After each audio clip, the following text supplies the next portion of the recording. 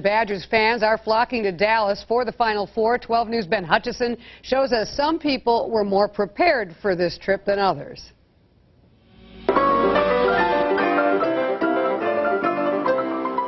The crescendo to the Final Four is everywhere, including Mitchell Airport. Yeah, go Badgers. Mark Gronley is making the trip. He attended UW Platteville during Bo Ryan's run of four national titles as head coach.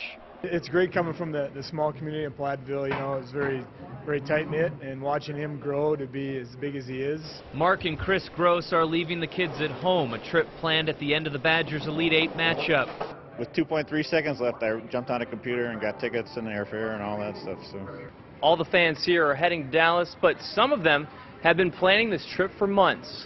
Father and son Terry and Jay Highland bought their Final Four package last summer. Didn't expect Wisconsin to be there, and now that's just icing on the cake. When the Badgers punched their ticket, it was a special moment. I was downstairs watching the computer, seeing the last second, and then I called him right away, and he said he was crying. I said, well, I was too. now hoping to share more tears of happiness together in Texas. At Mitchell Airport, Ben Hutchison, WISN 12 News.